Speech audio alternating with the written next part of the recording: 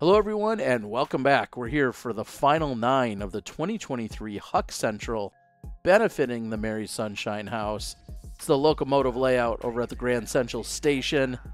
Terry Miller, the disc golf guy, joined alongside the one and only Joey Buckets. Here, excited to be back. We got three players who've kind of separated themselves out in the lead, all within two strokes of each other. Yeah, making any chance at a, a chase card winner or chaser uh, that much more difficult when these guys are playing really good golf and they're already out in front to start the day.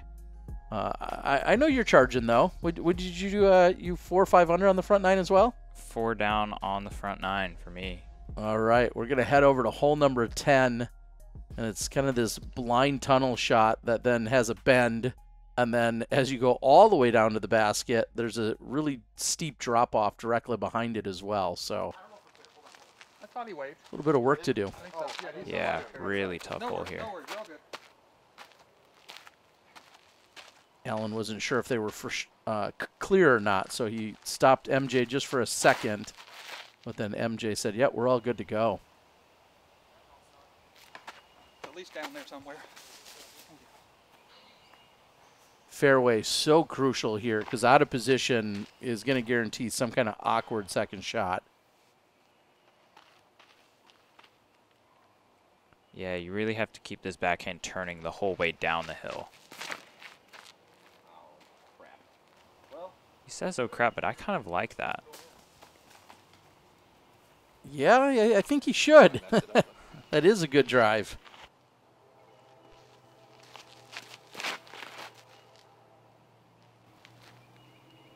Low screamer. Wow. Man, that's so crazy how similar those two shots were. And actually, Alan's was a little bit lower. It seemed like just maybe a little bit less turned. And this is a great shot from Matt. Just pinning it. Yeah, I heard those claps from the chase card walking up hole 11.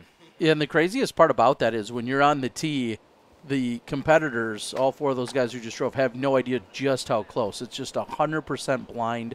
Obviously, they can hear the applause, but uh, you just have no idea. And we just saw ultimately, you know, I'll say three and a half pretty good shots, all with varying results. Yeah, Alan's shot was just a foot high, and you see what he has. He's going to a forehand, it looks like here. He's at least 50 deep of the pin maybe maybe 40, 45 or 50, but it's just going to be a pitch up with not much to look at. And this is kind of in that range where you really have to give it a bid.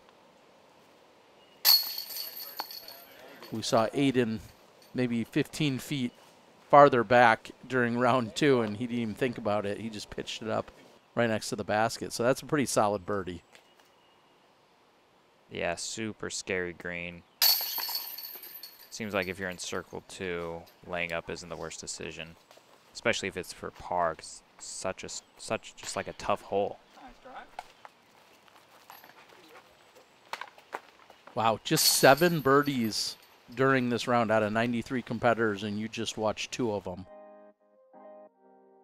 Yeah, great shots there. Hole 11, you kind of go back up the hill you just threw down. A decently tight gap, 260, probably plays 320 or 310. And just keep it straight and give yourself a circle one putt. Obviously the tunnel, and it's really all about just, I feel like missing that one specific tree that if you beat that, the tree on the right there, the closer one. And that's going to be a good looking shot for Aidan. It's actually going to be just deep, probably 25 or 30.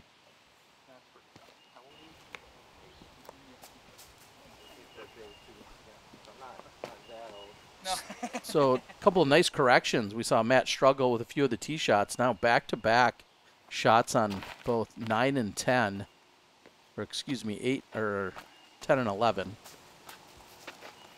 Yeah, lead card kind of showing us why they're here, just hitting the gap.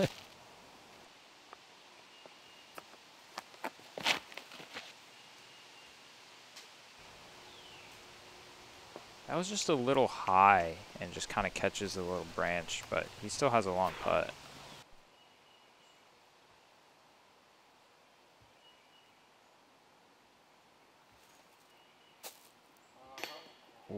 Draws metal, but definitely in threat now of being down three to Aidan, who's still going to have a birdie luck.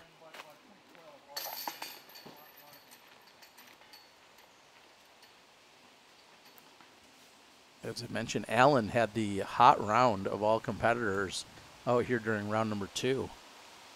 So he's certainly capable of shredding this course and Aidan's not going to be happy with that one. The wind kind of picking up too. There's like a little left to right wind. You can see waving his hand there. And Yeah, I was just thinking, you think that's a record? That was a triple leg slap. I don't know if I've seen three. Usually it's like a firm one, maybe two. Yeah, maybe two. Most of the time it's just one hard. Yeah, slap. that was a triple leg slap, Yeah. though. I don't know. That should be a hashtag, folks. Triple le- triple leg slap. Uh, easy tap in, and things got just that much tighter. Because now MJ is still within one, and they're both uh, out in front of Alan. Moving on to hole 12, 450 feet. It's a par four. You want to get your drive up near this road, if not past it.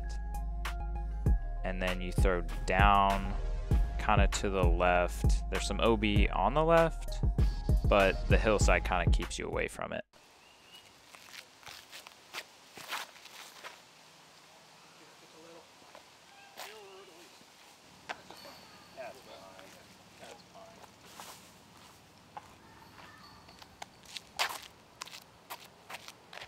Was the hillside you speak of. OB is actually on that far left side. Shouldn't really come into play.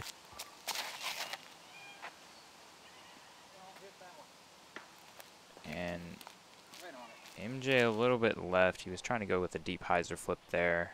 Catches a tree, but he still kind of has a chance. And honestly, even Aidan, depending on how far left that kicks, there's kind of gaps over there. You don't have to have the perfect tee shot to guarantee the birdie. You can you can be short of the road and still get the birdie. A great shot there by Alan. As he's going to set himself up with one of the easier looks to the pin. And you called it. I, I was shocked as we walked over here to get into position. I was like, oh, this is going to be a world of trouble. And then he actually has a pretty open lane to the pin here. Uh, of course, a little bit of this ceiling, but for the most part, he's got a good look. Just as he have the correct power, and it looks like he came up short on it. Kind of underestimated the distance.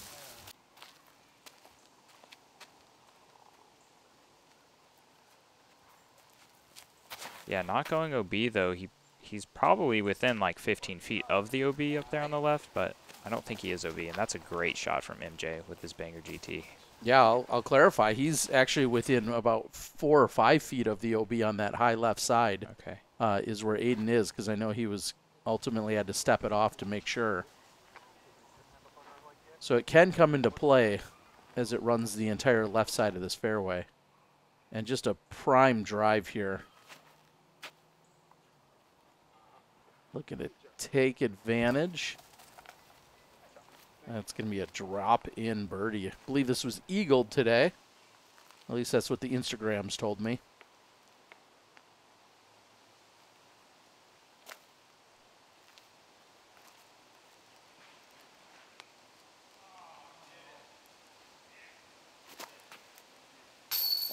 Oh, and the jumper by Matt. Good left side chain, but not enough.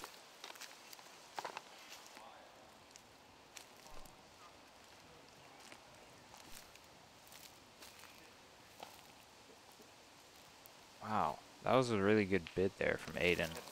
I think just a little long. And he has a little bit of work left to do. Probably 20 feet or so.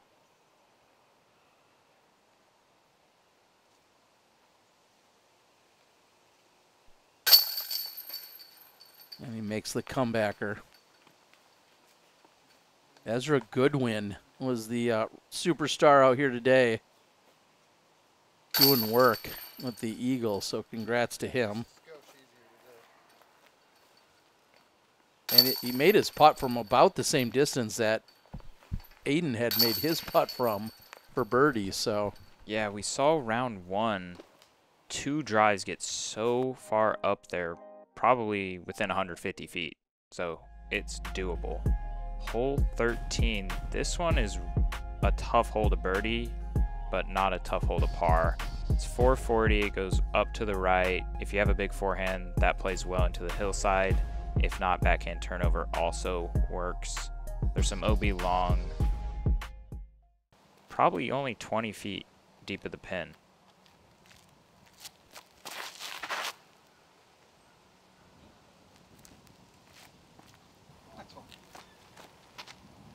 And that's what you see a lot. Like, you just throw a good shot and then you're 70 feet. And you kind of give it a bid, and most of the time you're walking away with a three.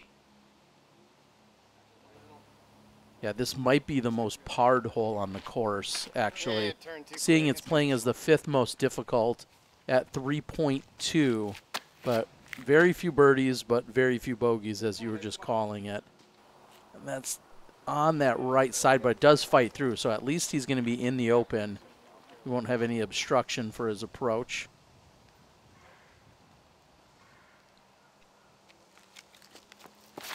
Aidan was one of the few birdies here yesterday. Aidan going with a lower line there. And It does safe. check up. Yeah, it looks like he hits kind of that backside like we saw yesterday by uh, Christian. Yeah, you can see the stakes right there on the wood line. So an effective forehand approach there by Matt. Yeah, yeah, but say they're bigger. And you'd love to, you know, maybe give that a little bit of a bid or, or put it up there, but you know if you hit the cage, there's a really good chance for it to actually roll back at you. So I can understand people being not too aggressive from distance on this one as well. And this isn't far from where Aidan converted yesterday, maybe just a few feet deeper.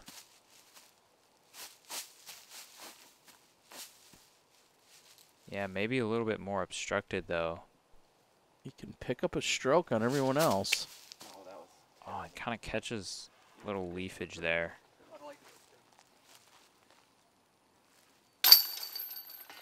And yeah, this is what happens on the hole. You you throw a pretty solid shot and you end up 70 feet or more, and you just kind of have a bunch of tap-ins like we're seeing here. Clash would probably argue that uh, you need to throw one of their discs. Let's see what they're doing.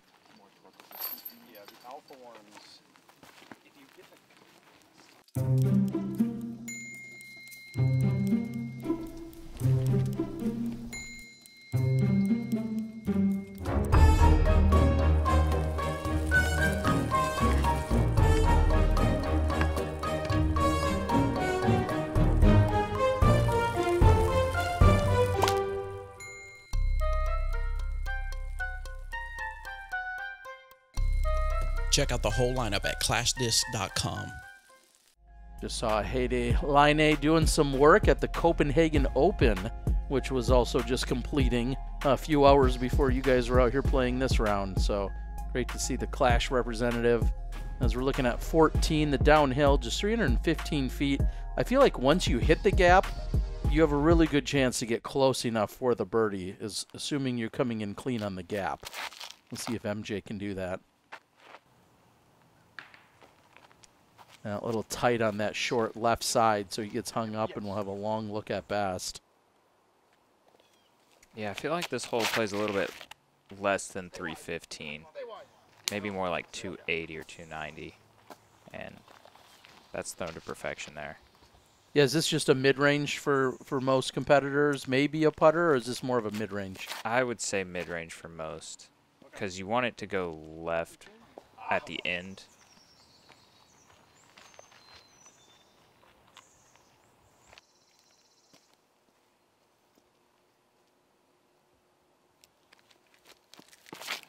Aidan was saying this disc was just handed to him, I believe, back in Jonesboro uh, during maybe a practice round and instantly went into his bag. He said he's been throwing it a ton. And now he's going to have a look for birdie. Super competitive battle here among the top three 25, 26, and 26. Ooh. Trying to pull a Dylan from yesterday from way downtown. Yeah, that one was from further, I would say. That was close to 100 feet almost.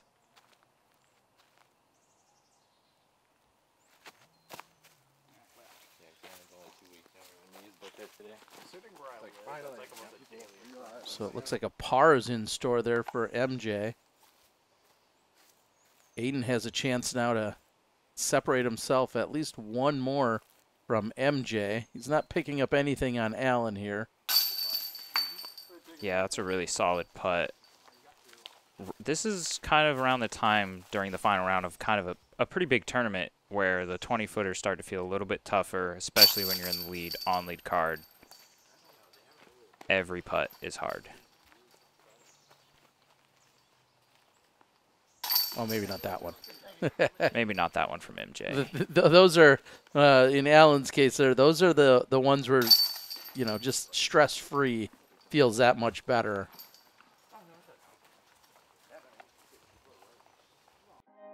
We're gonna head back up the hill to 15. Yeah, hole 15, one of the signature holes here. The drone flying underneath the power pole there, um, sometimes they like to do a triple mando underneath that, but no triple mando today. Most players going backhand hyzer. There's OB on the left side. If you kind of sky or hyzer it too much, and it can skip OB. And then forehand plays well into the green on the hillside. So we've got Alan and MJ both at 26 under. Aidan a one stroke advantage at 27. Yeah, really tight race here. And anywhere near that, like, tall grass in the middle is a pretty solid shot, like, right there from Aidan. Well, for something. I like to call that the Mohawk. Okay, I like it. Yeah.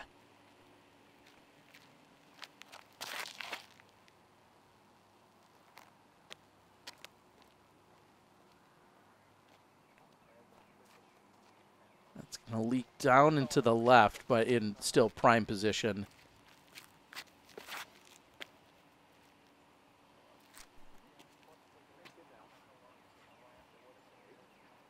And four pretty routine shots. I don't want to call them basic, but all four of them doing pretty much what you need to do off the tee. It's just a matter of now who can actually attack the pin. And that just has a little too much height to it, so it's going to leak down into the left side.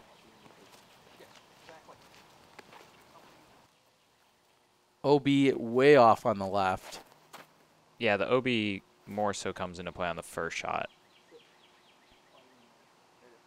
And that's going to leak to the left side, probably 45, maybe 50 feet still to the pin, almost pin high. And there was a little debate as MJ is going to hang it w- much wider. I feel like he maybe even saw what the first two guys did when how much it was dragging down to the left and said, hey, I'm going to make a correction and hang it out wider. 361. Uh-huh. Got Got 22 years, and then you can guess those probably. they were having a uh, a guessing contest because Alan had just marked himself. I think he said he was 381, and then he borrowed the rangefinder. Oh no! And you just can't make that mistake here. I mean, this is a, a relatively routine shot, you know, for his approach, and he hangs it out way too wide to the right and gets hung up. Yeah, the hillside really, you get a big skip with the backhand hyzer coming into this hillside. So I think he was just trying to play it wide and not skip way down the hill. And whoa, that jump putt just kind of low or gets a wind drop or I'm not sure what that was. Yeah, and if you're noticing, look at the flag. There's there's essentially no wind, and I thought that was just a crazy release that came out of his hand. I'm not sure if something maybe stuck on his finger or if he just Yeah, maybe something funky going on with the step putt timing. and not the kind of metal you want. No, that's going to leave him with a weird kind of 25, 30 footer. Alan's uphill, probably 45, maybe 50. That's a really, really good putt coming down the stretch. Yeah, and more importantly, he's seeing that Aidan's struggling. He's, you know, now to 27 under. Aidan at best is walking away with a par. MJ still has a birdie look as well. So we could have three 27s here in a moment.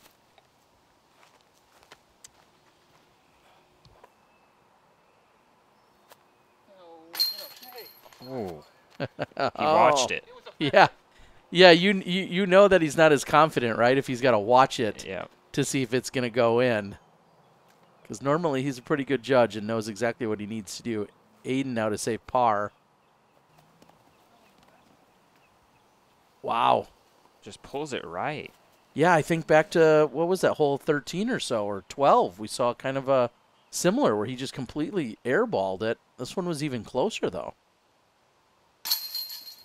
That's a- Solid comeback. Yeah, very solid, but what a turn of events. That's going to be a two stroke swing from him to both Michael and Alan. Yeah, Alan and MJ were both one back, and now they're both one up on Aidan. But Aidan's still in it. I'm sure he's a little razzled and frustrated, but he's only one back with three to play. 20% off if you use the code Disc Golf Guy over there at the Distinguished Doodle. The link is in the description. Now we have three holes left to play. This 500 footer downhill. You- You'd estimate maybe 450 at most is probably the, the effective power required. Yeah, 450 at most, maybe even like 430. And there's that creek that's short that shouldn't really come into play, but if there's some wind, it can. And I'm sure all players are going to be going over the creek off the tee. Yeah, I needed more turn on that to possibly keep bending toward the pin, but he's safe and he'll still have a long look for birdie. Yeah, nothing really wrong with that shot there.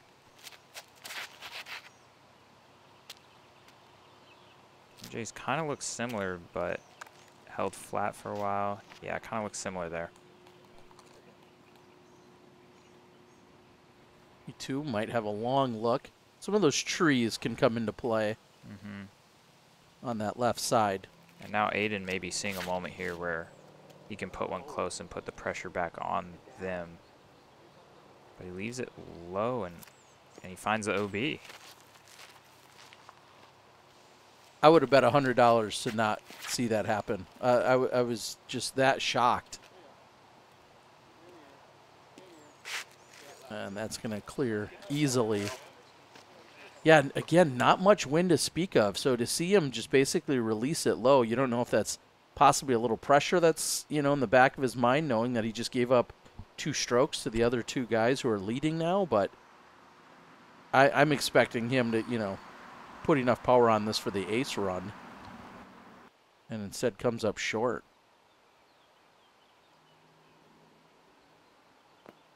Alan trying to like put it over those limbs there. MJ seems to have a semi decent clear look at it. And he gave up on that one. He actually looked down, not in confidence. He looked down because he thought he missed it. Yeah, that's two holes in a row where it's low and he's watched it the whole way. That is crazy. What a turn here.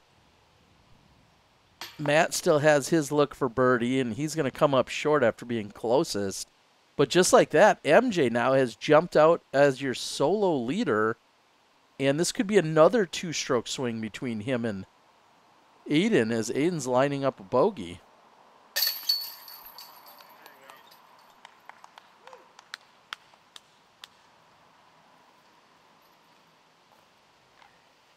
Yeah, that kind of almost feels like the end there for Aidan in a way, being three back with two to play. Yeah, especially knowing that hole 17 is a pretty straightforward hole. If you had two holes like 18 to play, you're thinking, oh, anything can happen. There's some tight gaps, but yeah, the fact that hole 17 is as straightforward as it is, and and Alan, I think, feeling a little frustrated as well. I'm not sure if he's razzed by the fact that that one snuck in for MJ, but certainly not the way he was carrying himself like he was after hole number 15. And 17, as I said, pretty straightforward. 345, slightly uphill. And if you can just put this one on a nice, tight, frozen rope, you probably can come up short and maybe even skip to the pin.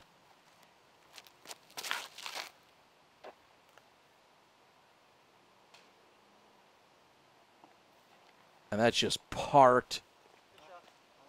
Well, okay, not quite parked, but that's that's going to leave him 20, 25 feet. You got to think that's uh, probably a pretty easy look compared to what he's had over the last couple of holes. Yeah, and that puts pressure straight back on Alan. And that was a little left, but looked like it got up there a little bit. Yeah, he's looking for something, calling for it to give him still a shot.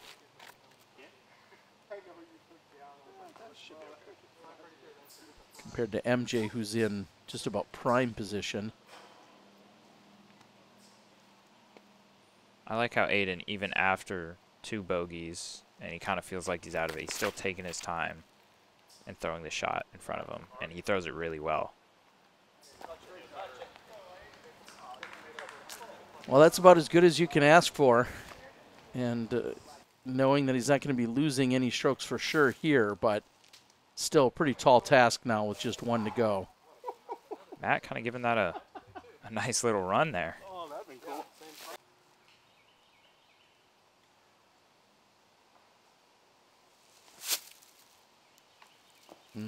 Alan really needing that one. Before they changed that rule, they've been like, "Hmm, Yeah, you can tell he wanted that one. He didn't want to leave it short. It's maybe 20, 25 at most uphill here for MJ.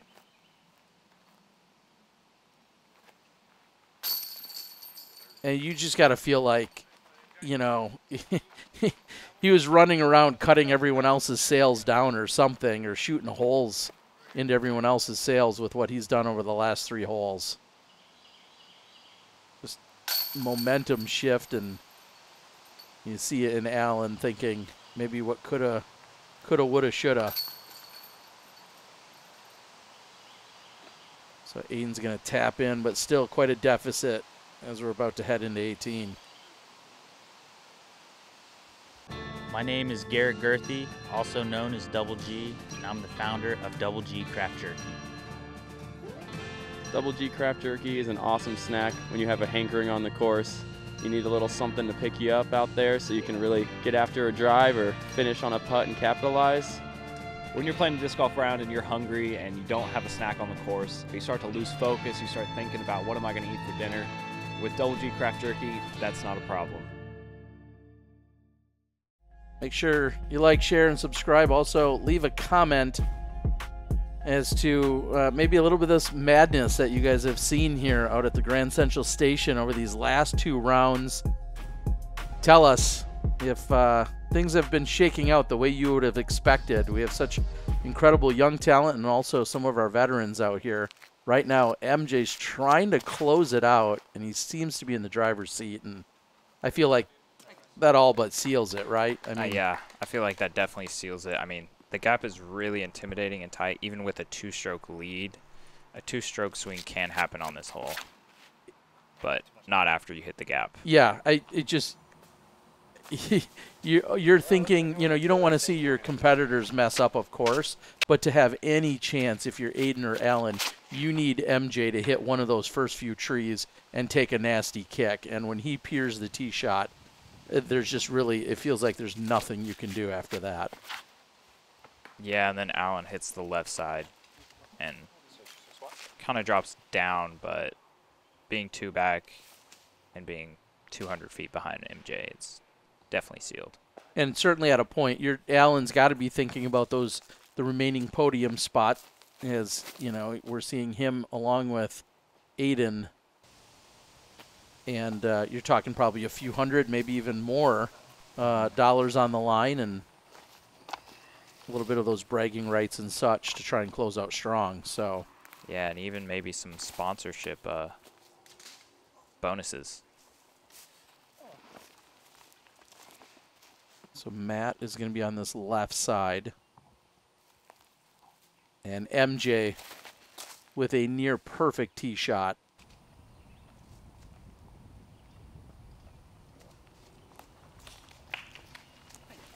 And that should seal the deal here for MJ.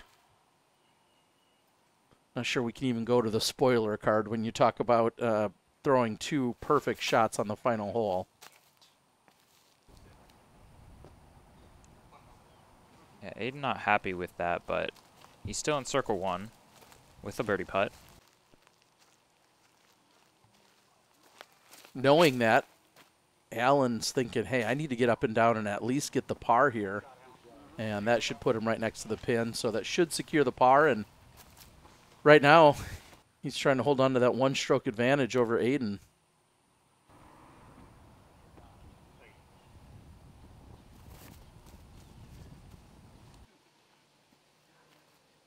Yeah, so Aidan can tie it here with a made putt. See a little bit of a light breeze.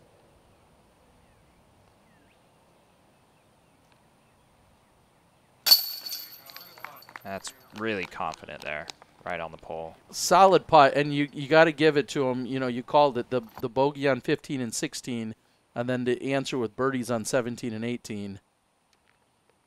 Yeah, solid showing from Aidan, and there's your champion, MJ. Thanks, sir. It's been a good battle all week, man. They had asked him if uh, he wanted to putt out last, you know, as kind of the the uh, courtesy, and he said, "No, that's all right. I'll just step up and close things out." So we're going to see that MJ uh, is your champion. Congratulations to him. Aidan and Alan are all knotted up in a tie for second. We got a trophies uh, award to be given away here. We're also going to have an interview with MJ, your champion. Joe, any final thoughts before I let you go? Thanks for having me on for the first time ever, and um, thanks for everyone for watching, and congrats to Michael Johansen, and yeah, thank you. Uh, it was a real pleasure. Thank you so much for joining. Uh, like, share, subscribe, do all the YouTube things. Let's hear from our champion, MJ, Michael Johansen, one last time. We'll see you guys at the next one. I'm the Disc Golf Guy, and that was my video blog. Joined by our champion, Michael Johansen. MJ, you were handed the trophy, but you don't even know how many times you've won this? Is it No, that often? You know, it's two. I think it's at least three, but it kind they kind of blur together after a while. Uh, and speaking of which, you're playing with some of the, the, the young guns that are out here. When we see someone like our up and coming superstars like an Aidan, who really, I feel like things came all the way down to the last three or four holes. Yeah. So talk a little bit about not only the young talent, but then also uh, trying to put this away in the last few holes. well, it was. You could tell it was going to be a battle the way it was going. No one really started having wobbly rounds or anything. Everyone kept going, so which was fun to have a nice battle. And, and getting to the end, it was really just a couple of random putts here fall. Aidan made a random mistake, but he's young, so it takes a while to learn. Sometimes they just work. Other times, you got to learn from your mistakes.